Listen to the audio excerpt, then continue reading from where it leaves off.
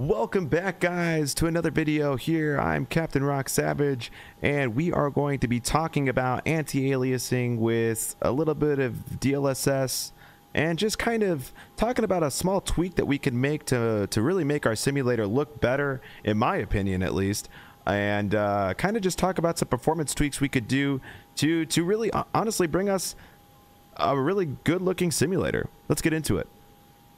All right, guys. Well, welcome back. We are here in Chicago Midway International Airport. We are obviously seeing a ton of Southwest aircraft here, and we are going to be talking about the NVIDIA DLSS optimization that we could do within the simulator and kind of drop the TAA. Um, obviously, TAA brings really sharp imaging, especially within the cockpit but it really gives us a lot of airport shimmer. Probably, you know, in my opinion, some of the worst. Now, we'll go ahead and talk about, you know, what we're going to do to fix that. But honestly, in my opinion, this just looks so much better. Nowhere near as much shimmering that we are used to seeing. Obviously, you guys could see the airport looks amazing, especially when, uh, you know you have a static uh, camera view. It looks really really good. And when you're going really slow with the aircraft it, it just it, it looks amazing. Um, something that TAA just doesn't really tend to do and it's something that we've been battling from X-Plane P3D and, and really all the simulators before that um, that we've been really I feel like combat combating and, and, i think a lot of us have just kind of accepted the fact honestly um, that we just you know we're going to deal with a lot of really bad jagged lines and, and a lot of flickering going on. But here is how we're going to fix that. Let's get into that part of it. All right guys so right here is where we're going to fix that jagged line uh, really just flickery simulator all right so we're going to find the user config file in our local cache in the packages folder of Microsoft Flight Sim. Now I will leave the address to your local cache file down in the description below. Keep in mind, I do have the Microsoft Store version, so I do not have Steam. So if you guys did purchase this sim from Steam, I am so sorry. I don't know where that file will be, but I'm sure somebody out there in the internet has a link or a a address for you to follow to get to this user config file. So we're going to go ahead and open this up. I'm going to use Notepad++.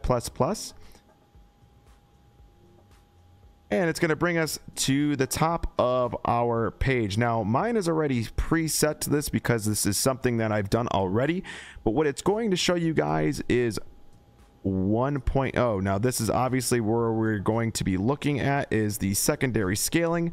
So this is what it's going to look like when you open up your user config file. It's going to show secondary scaling set to 1.0. What we're going to do is click on it, get rid of that one and put a two, basically allowing us to give two times the resolution of the simulator and that's essentially, guys, what's going to make our screens look like it's still TAA. And I know a lot of you guys were probably sitting here thinking, well, Roc, there's no way that DLSS is going to look good within the cockpit because we all know when DLSS is enabled, it downs the resolution of our simulator from the screen side of things and just the visuals of even just from GSX in general too.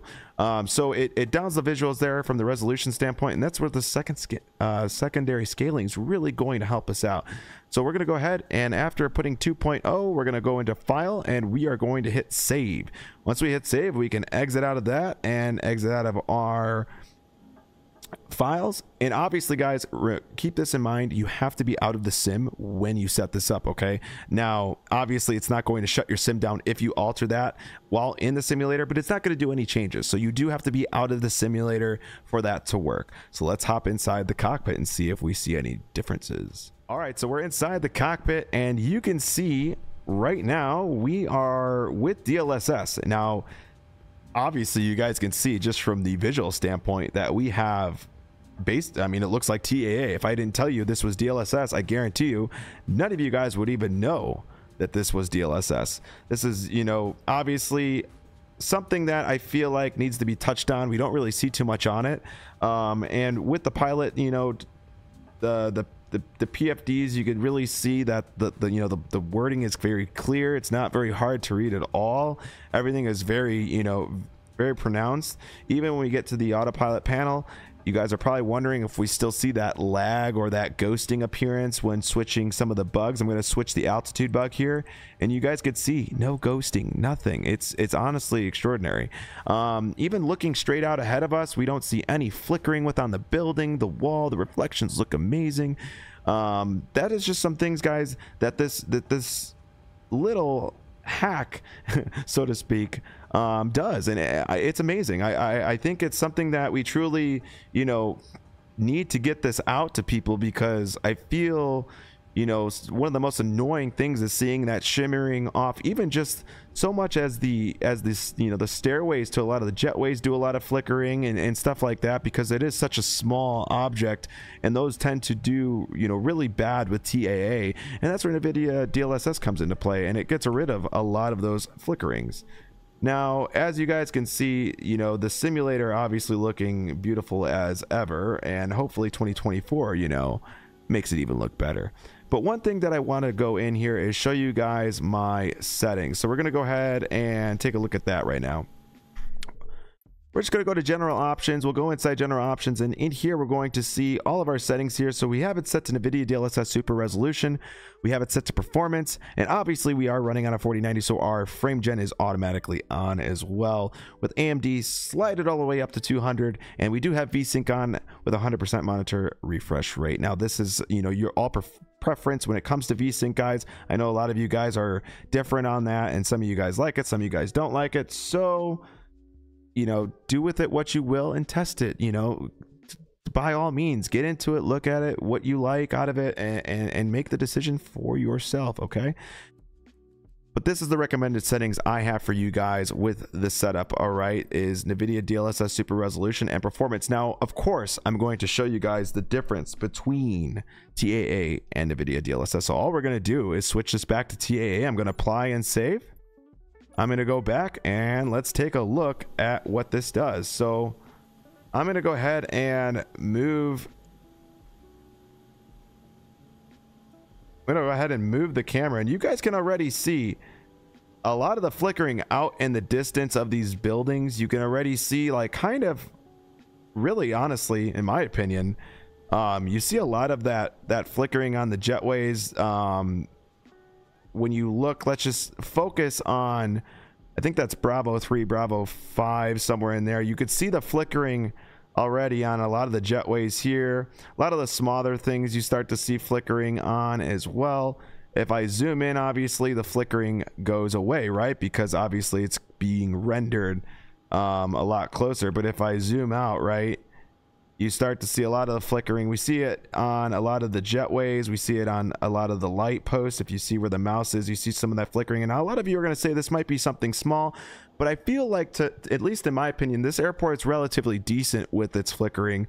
But there are a lot of airports out there that just have terrible flickering. And it's just a real annoyance, in my opinion, when just seeing people either stream it or really um, just for those of you that don't stream and you're just you're kind of annoyed by that flickering that's something that you know this this will fix. And we switch it to nvidia dlss go ahead and do that right now. Oh we'll go this way.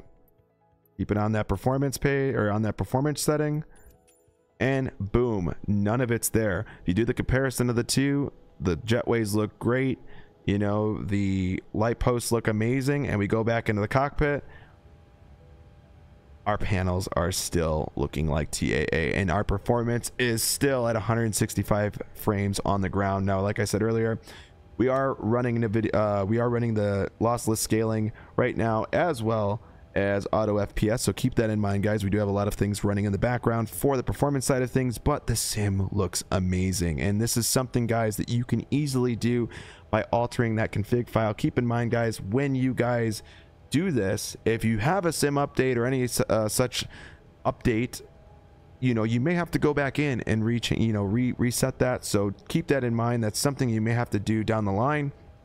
But for now, this is my little gift to you guys to tell you a little bit about that. I hope you guys enjoyed the video and I really look forward to flying with most of you that already follow me. If you aren't following, hit that like button, hit the subscribe button. Please leave your comments down below on what you think of this video and what you think it will do for your sim. Obviously, guys, you know, it's not for everybody, okay? This isn't something, you know, some of you guys may see this video and say, well, I really don't need to take a look at this. It, there's really no point to it. By all means, go ahead and skip the video. But for those of you that enjoy the video, yes, please like, subscribe, pass it along to your friends as, you know, we are trying to build our channel. Um, but that being said, Hope you guys enjoyed the video. Thanks again so much for watching. I hope to see you guys in the air in Microsoft 2020 or hopefully in 2024 in a couple weeks. Thanks again. Stay safe and we'll see you guys on the next video. Bye bye for now.